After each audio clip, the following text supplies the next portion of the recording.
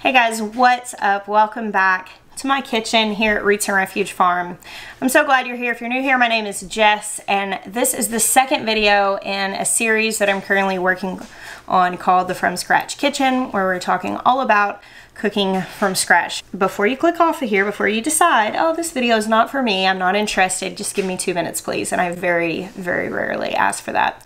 I started this series by making a video all about kitchen tools. And as I began to gather different recipes that I want to cover and talk to different people about some collaborative efforts and kind of decided how in the world do I outline this? How do I take a person into the journey of learning to cook from scratch?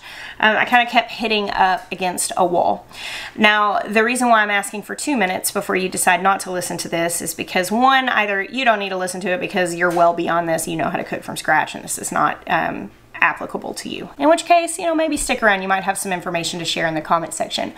But really, the people who say, I don't cook, I don't like cooking, I don't know how to cook, I can't even boil an egg, like the people who automatically discount themselves, I'm making this video for you. Um, I think that it is very important for people to learn how to cook. If you have the desire to homestead, you need to do this. You need to learn how to cook because on farms, um, what grows are ingredients.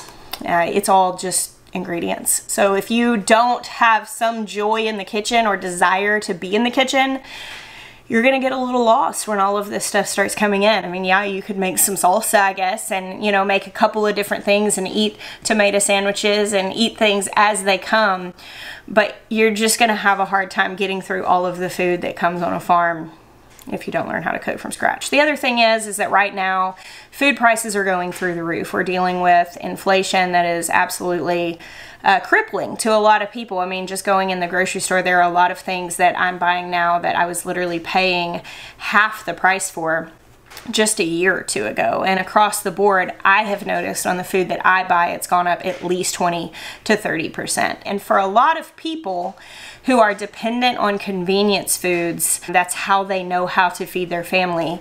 Uh, is those convenience foods, the prices just go up and up. People are ultimately going to end up buying less food or lower quality food in order to be able to afford to feed themselves and their family. And I think the repercussions of that could be very, very long lasting, even generationally, whenever we look at the health uh, results of eating food that's not nutritious for you. So learning to cook from scratch really empowers you because it allows you to grow your food and know what to do with it. Um, it allows you to localize your food sources so you can go to farmers markets and stuff and buy ingredients and know what to do with them. It allows you to preserve food out of season if you are getting a large harvest or if you have access to something um, and know what to do with it later. And even if all you ever do is buy food from the grocery store, it allows you to buy ingredients in bulk and be able to get a lot more for your money rather than buying convenience foods. I don't like it whenever people say, I can't cook, as if that's an, an, actual identified trait that they have. Like I'm five foot five inches tall and I can't cook. No, you can't change your height, but you can learn how to do something. I'm terrible at cutting hair. It's not who I am as a person. I've just never learned. Uh, and when it comes to cooking, when people are like, I just don't like cooking, I don't like doing things that I'm bad at either. But as you choose to invest the time and energy into learning and taking joy in something and taking joy in the result in it, you can also grow in joy. I like eating. I don't always like cooking, but I always like eating. And so that's kind of a motivator for me. It's why I like reading cookbooks and staying motivated because I can read different things and I'm like, oh, that sounds really good. I would like to make that. And the only way to get it on the table is to cook it. I think there is a choice that has to be made. And I think that at the current point that we're all at, I think it's one that's very worthy to be made. Another thing that I can say in defense of cooking from scratch is that many of you are here because you desire to homestead. You desire to garden. You're starting to do those things. And I like to say turn your waiting room into a classroom because if you have a dream and you are hoping for the fulfillment of that dream, Um, and all you do in the waiting period is you just sit and twiddle your thumbs. When you finally have the opportunity to have that dream, you won't know what to do with it. And uh, you will waste your time fumbling through all of the lessons that many of which you could have learned in the waiting room. Many people do not have access to a garden spot. They do not have access to land to start farming. They can't have chickens. They are not able to do the thing that they want to do, but you probably have a kitchen or you probably have access to a kitchen. So learning those skills while you wait to grow your food is saying, I'm going to learn what to do with ingredients because when I start growing food, that's what I'm going to grow. I learned to can on foraged blackberries long before I had a farm. I learned from scratch cooking while I was in that waiting period. And because of that, when the ingredients started rolling in for my farm, um, I wasn't burning them. I wasn't ruining them. I was turning them into delicious food that we all enjoyed eating. I'm to lay a very basic groundwork on eating real food and things that you can apply where you are as we start this from scratch cooking journey. I want to make very clear I, if you are a person that has been eating real food and cooking from scratch, I welcome your wisdom and your advice in the comment section. It is very, very important, I think, in community for people who have the capacity to mentor to do that. It's very important to share your wisdom, to share your recipes, to give people inspiration from the stories that you have. What I want to make very clear is not welcome is um, the evangelism of your food opinions, which is to say, this is not the place to make condemning comments um, against people who eat meat or people who eat leafy greens or people, you know, there are arguments for veganism and paleo and keto and carnivore and AIP and GAPS and all the different diets that we could say a person person should start on. Um, I have I've I've done the gamut. I have been vegan. I have been vegetarian. I have done carnivore. I have literally gone from one end of the spectrum to the other. And what I think that we should be able to agree on in common ground is that people are different. People respond to things differently, and that the number one most important thing that we can agree on as far as eating food is that real food that is not processed is better period. Whether it's largely plants or largely meat or whatever way you're going about it, there are certain things that I think that we can all agree on. And if you found something that works great for you, I understand the urge to share that with people. Uh, but I also think that we have to identify the fact that we have an entire generation of people that maybe have never experienced a real food and from scratch kitchen and that way of doing things ever. Uh, that were raised on convenience foods, that have only ever learned convenience foods, and maybe they have a desire to make a change, but every time they kind of curiously peek into the world of cooking and, and from scratch and health and all of that stuff, the opinions are so loud and conflicting that it can easily overwhelm a person who doesn't quite have their bearing on what's true or not. And therefore, they retreat and they go back to what they know. And what I really want to do is avoid being a place of overwhelming, impossible information that a new person doesn't know how to process. So that's why I'm saying like, hey, let's leave the, the diet evangelism out of the comment section. Um, and let's just stick to the grounds of let's in let's teach people and empower them how to eat real food. So one of the things that I think is very important on the front end as you start cooking from scratch is that food is not good or bad. And it's something that has really helped our family have a healthier approach to what we eat. Because when condemnation gets tied into food, um, it can just convolute how we see things. Food is, is not good food or bad food, okay? It's all fuel. Whatever you put in your body has different makeups of carbohydrates and proteins and calories, and it's going to affect your body depending on what's in it. If you look at it as that's good food or that's bad food or that's healthy food and that's unhealthy food, um, again, you can get into that tangly, overwhelmed place. I like to look at it as that is nutritious food or it's not. And it either tastes good or it doesn't. There are things that make me enjoy it more. There are things that make it easier to prepare. Um, there are all of these different factors that go in, but it is ultimately fuel that thankfully can be enjoyable. And unfortunately, because of the way that food is handled in our culture, man, a lot of us have just, we have very unhealthy relationships with food. And that's not a condemning thing. Recognizing that says, okay, I just want to make it have a healthier relationship. So I think viewing food as fuel and honestly assessing how it fuels you is very important. So how something tastes can't be the number one um, reason why we eat it. Um, how something fuels us should be heavily considered, but unfortunately, a lot of times people say, oh, it doesn't matter, it's just fuel, and they act like we're not going to be motivated by how something tastes. I want to have food that fuels and nourishes us well and also tastes good, and I believe that that's actually very possible. So setting our goal, when we look at food, we look at what we want to cook, what we want to grow, how we want to source it, you know, what our budget is, all of those things. I just like to say my goal is to, for us to eat mostly nourishing food that mostly tastes good. And whenever I have that standard set, my decisions can come up underneath that standard. So this is the unmovable standard. When it comes to food, I want to eat mostly nourishing food that fuels my body well and supports my body that mostly tastes good. Occasionally, I eat things that I'm, I'm not crazy about. Eh, that's okay. It's not most of the time. It's occasionally.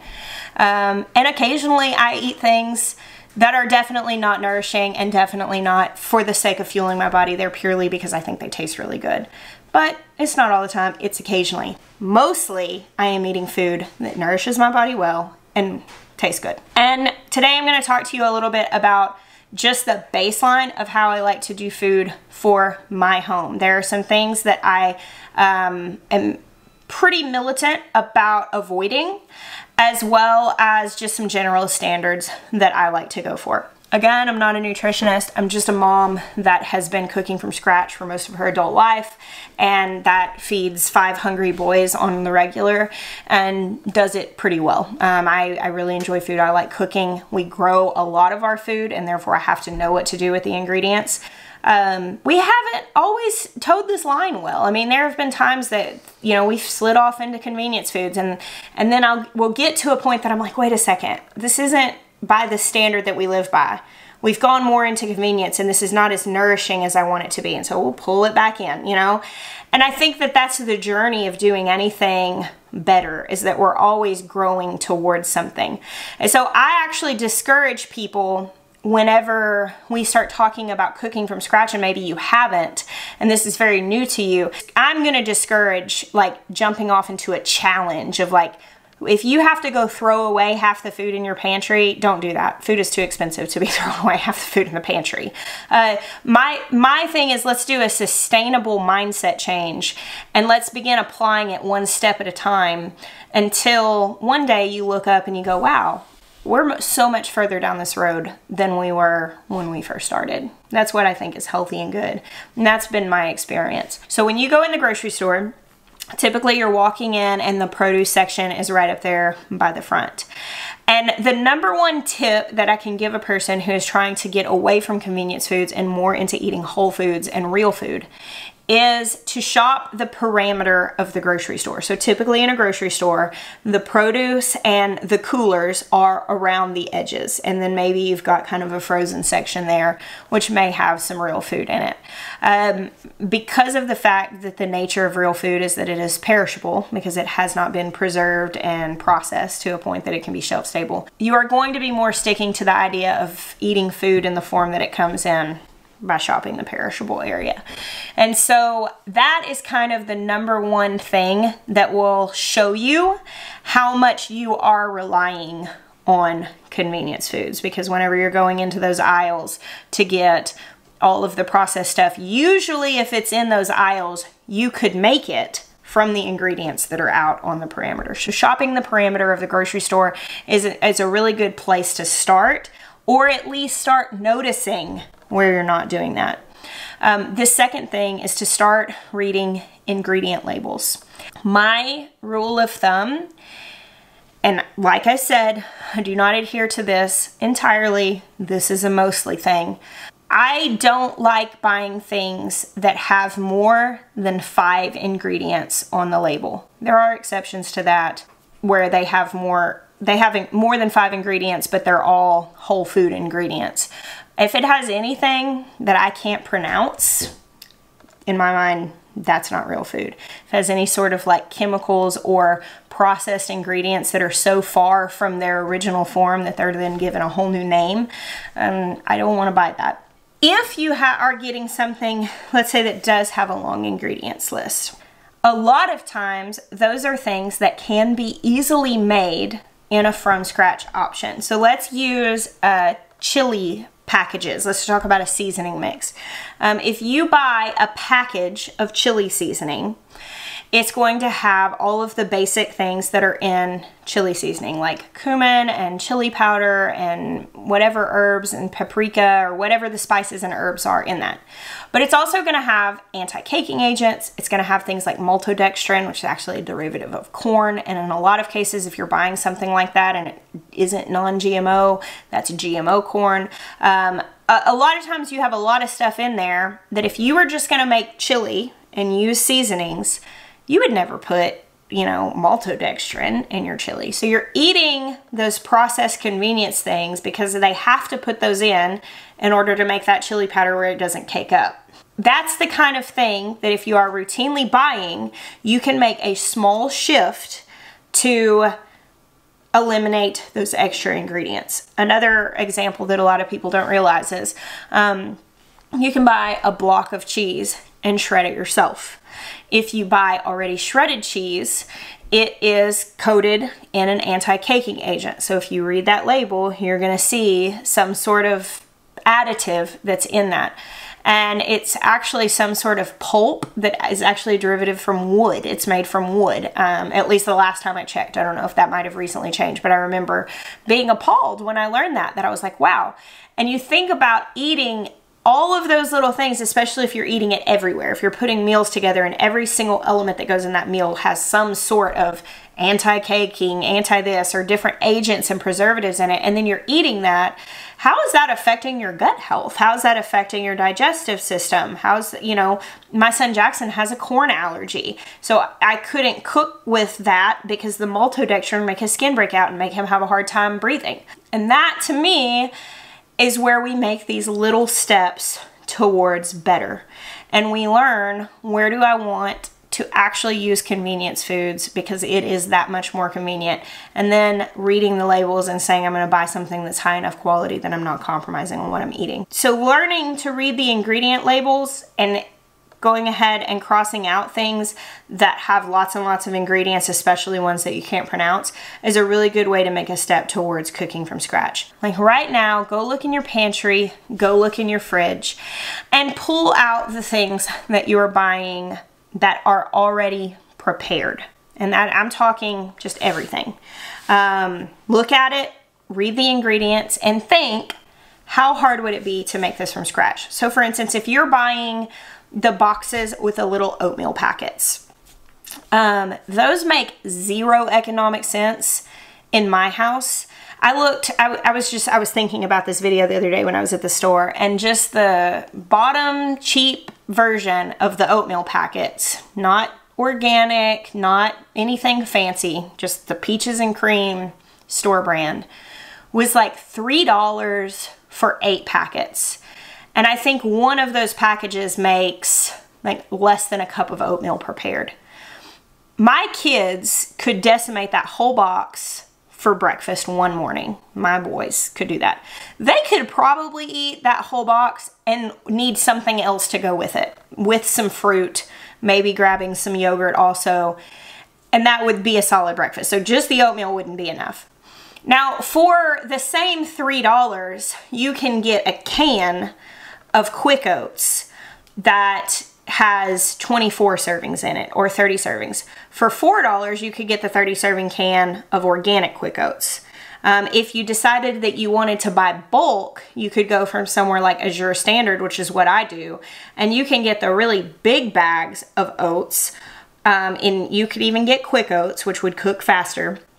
For you know $10 and get 60 servings or whatever it is. I don't know exactly what the price is right now on those things but i'm saying if you are using a lot of this stuff you can buy it bulk. And ultimately my kids if they are eating something like oatmeal they're eating organic oatmeal that i can buy a higher quality product and that i can let them eat to their little heart's desires so that they're actually full it does not have any additional agents added to it. It doesn't have any sugar added to it, so we can sweeten it with something like honey and put our own butter or cream in it. But we've now gone from a highly processed food to a whole food, and it's costing less. And that's where I'm really wanting people to look at what they're buying and think, what would be the equivalent of doing this from scratch? And that's not even talking about cooking meals. I think that the best place to start when you're saying I want to eliminate convenience foods and I want to start cooking from the ingredients that someday I hope to grow or source in a more homesteady way is to look at all of those little things. We're not even talking about what you're cooking for dinner. That is probably enough for a lot of people to get along with. Um, there are a lot of examples that I could give on this, but I think that looking at where you're doing pre prepared things, breads are a good place to look. That's a good place to start from scratch. Um, things like breakfasts is a good place that you can say, what can I can I place out for from scratch? Seasoning mixes is a big one. A lot of people are just in the habit of buying seasoning mixes and they're ultimately overpaying and consuming preservatives and additives that they otherwise wouldn't need to. Buying things more in an original form. So think cheese, buying it in a block instead of shredding. You are giving up a little bit of convenience, but often you're saving money, um, sometimes pretty significantly so, and you're eliminating those additives and different agents that are added to the more convenient product. Now there are some things that I absolutely limit in what I buy. And I'll tell you just on a personal note, I started reading food labels when I was 21. So I've been doing this like most of my adult life because my son Asher had a severe dairy allergy. In order to nurse him, I had to read labels and learn what all of that stuff meant. Is when my eyes were open. And since I started learning about food when Asher was a baby, um, I have had multiple times that I've kind of had to revisit things. Like Jackson was diagnosed with a corn allergy just within the last year. He was having all of these skin issues and these breathing issues, and we found out that it was caused by corn. And when that diagnosis came, it was kind of the talk was, well, he's going to need allergy shots and all these different things because corn is almost impossible to eliminate out of a diet. Now, thankfully for us, we already eat very clean. We already eat whole foods. And so for us, it, the areas where he was consuming corn were obvious. He was eating popcorn, when he was eating corn tortillas. Uh, but he wasn't eating a whole lot of things that had, you know, cornstarch and maltodextrin and all the different corn byproducts that could end up in food. And so we were able to eliminate that again, but it took me back to reading labels again. It was just a refresher again about how important this is. And then we went gluten free. And it's very easy when you're thinking, okay, gluten-free becomes the standard that you're buying food by. Well, there's a ton of food that is gluten-free that is so full of stuff that I can't pronounce. And I found myself wanting to buy that stuff because I allowed my standard to become gluten-free. And I had to stop and be like, wait a second, I don't want to start buying processed foods. We don't eat processed foods. My standard is to eat food that nourishes us well and mostly tastes good. Like that is my standard, not gluten-free. So the gluten-free comes underneath that. And ultimately it led me back to the fact that we can eat lots of food that doesn't have gluten in it without having to buy a whole lot of specific gluten-free products. Again, it's very important to set your standard, to read your labels, and to know what you're not going to budge on. So the other things that I'm looking for whenever I'm looking at food labels is I do not like to buy seed oils. So seed oils are things like canola oil or grapeseed oil. Um, now canola, people are learning so much about canola oil. Canola oil is actually rapeseed oil and they branded it as canola oil because obviously some people would take issue with rapeseed oil. But now I've been noticing rapeseed oil showing up on ingredient lists uh, because I guess people are realizing that canola oil is often, you know, it's, it's not good for you. And I'm like, wow, man, that's getting pretty rough if they're kind of reverting back on their original marketing. Um, but yes, rapeseed canola is the same thing. Uh, grapeseed, sunflower oil, that's a big one, unfortunately. That is in a lot of convenience health food. Like a lot of brands of things that are being marketed as health foods and they have the price tags to match them have sunflower oil in them. And in my research and what I have decided, I am uncomfortable with consuming um, seed oils. Really at all but completely cutting those out is extremely difficult. Um, but eating whole foods is really the best way to do that. Uh, we largely use animal fats, lards, and tallows, as well as uh, butter, avocado oil, and we do use olive oil, though it's not the number one oil that we use. We typically lean to the other things and then use olive oil more as a seasoning rather than you know our primary cooking oils. So when I'm reading ingredients, I'm looking for the seed oils. I'm looking for any sort of added sugar. Uh, unfortunately, sugar is very, very inflammatory, and I am not anti-sugar. I'm not anti-sweet. I, I like sweets. I think that we eat so much added sugar that a lot of times we miss out on how wonderful food is all on its own. Uh, so by cutting out refined sugars, I I mean I can eat a sweet potato as it is and think it's amazing. I I eat dried pineapple strips like they are the biggest treat in the world because they taste super sweet to me because I'm not eating a lot of refined sugars. And there is so much added sugars in food that a lot of people consume way more sugar than they realize. So I think looking for that and just being aware of where you are buying added sugar. I don't by things that have, of course, by limiting seed oils, this kind of cuts this out, but I don't buy anything that has hydrogenated oils in it uh, just because your body has a really hard time processing that. And I don't buy anything with obviously any sort of like corn sweetener. So like corn syrup or anything like that. Of course, buy trying to limit any sort of refined and added sugars, that obviously is going to knock that off the list. By cutting out a lot of that stuff, it's going to force you to go back to what I was saying, looking at things and saying, could I make this from scratch? Because a lot of bread products that you can buy, they've got that stuff in them. A lot of jarred sauces that you can buy, they have that stuff in them. A lot of um, packaged salad dressings. They've got that stuff in it. And whenever you say, okay, in my standard of wanting nourishing food, these ingredients are not the most nourishing options, and therefore I want to avoid them largely not all the time. It doesn't have to be black and white. We're looking for a majority rule here. By saying I'm going to avoid them, then you're looking at the salad dressing options and all of a sudden 90% of what's on the shelf is no longer going to uphold to your standard.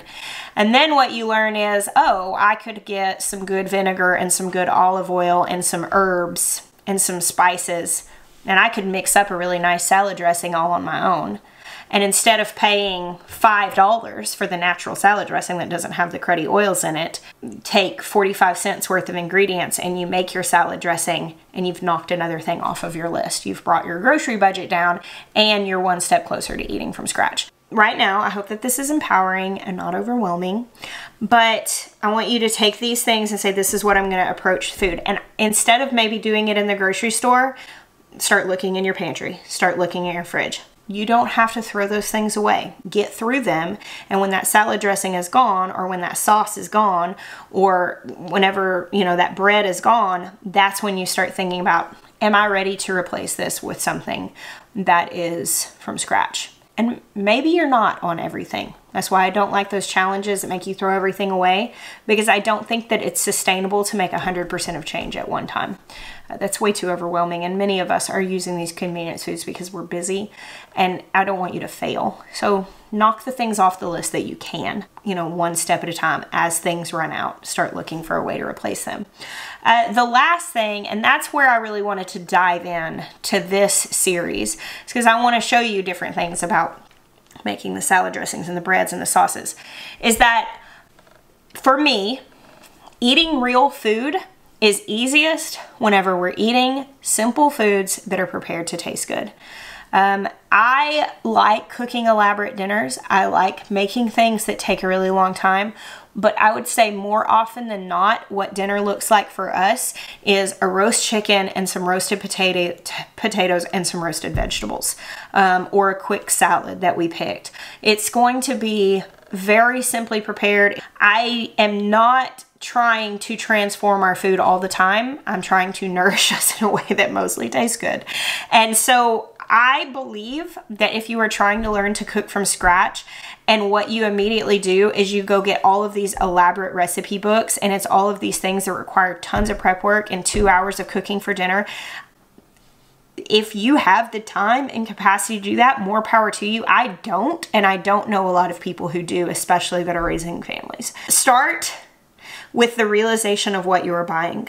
Start with the realization of how simply those things can be replaced with a from scratch alternative. Decide where your conveniences are most worth it. I make mayonnaise. Um, it's super easy to make from scratch. I have the eggs. We use, you know, I usually use avocado oil, make some mayonnaise. It's, it's very simple. We don't use mayonnaise all the time. I keep it made in the summer when making tomato sandwiches, but you know, I don't have any mayonnaise made in the fridge right now. Um, I don't make ketchup making ketchup is way more extensive. And so I found a brand of ketchup that doesn't have a whole bunch of added sugars and I buy that. So that's where I'm saying like you have to choose what conveniences work for you. We do the oatmeal from scratch. We cook it on the stove top. We add in our own butter and honey or maple. Um, I do not buy packages of oatmeal. I actually still buy some cereals because my kids really, really like it. And whereas I think that it's overpriced for a box of grain to cost that much, I don't think that it should. Um, I can buy a high quality product that I'm okay with my kids eating and I can make that concession for them because I don't want to teach them that you know, certain foods are bad.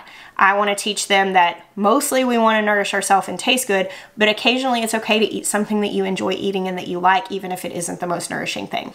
So I still buy cereals sometimes. I don't buy a lot and I don't let my kids eat cereal every morning because it's not super nourishing and it would be really expensive to do that. So again, I want you to really feel out the reality of your food situation and maybe think about the things that you are regularly consuming, your family's regularly consuming that are not super nourishing. Maybe you're a soda drinker. Maybe you love that creamer in your coffee that is full of oils and sugar. Um, and maybe you're not ready to give that up yet. That's okay. I'm, I'm not here to take away your coffee creamer. I will tell you, you can get half and half and add maple syrup and some vanilla to it and make a really tasty coffee creamer that doesn't have oils and refined sugars in it. And maybe you're ready to make that step, but maybe you're not. And I'm not here to condemn you. I'm here to say, set the standard that you want to eat mostly nourishing food that mostly tastes good. And assess where you are. As we jump into this cooking from scratch series, that's really what I need. I feel like you will get the most from it if that's what you've done. If you've honestly assessed where you are, you've assessed the things that you're wanting to make exceptions on. You've assessed the things that you could easily change to make a step in the right direction. And then you can start learning those simple ways to eat real food. And I really think that if you will make this assessment, you will have the honest look at it and see where you can make those little changes that you could look back a year from now and say, wow, I'm cooking so much more from scratch. I feel so much more able to uh, obtain that homesteading dream. Or maybe you've already started the homestead and you're going, wow, I'm using my stuff way more efficiently than I was before. Uh, but that's, that's where I would say this video is for. Eat real food. Try to stick to that as much as possible. And let's make some let's draw some lines in the sand of things that we mostly want to avoid. The things that are really not nourishing for us that maybe um, really aren't lending to us being our healthiest self. And in the meantime, I think that there's potential here to live in a lot more freedom and maybe save a good deal of money as things start to get more expensive. I hope this helped you guys. It's a hard topic to talk about um, because there are so many opinions and I don't always feel qualified to talk about it because I haven't always, I'm, I'm not the example of being the most um, disciplined from scratch cook and doing everything super ideally, um, but I do feel confident what I've told you today is something that will make your life richer. Thank you guys. I look forward to continue sharing more with you on this topic and hopefully help you along in your journey of learning to cook from scratch. I bless you. Until next time.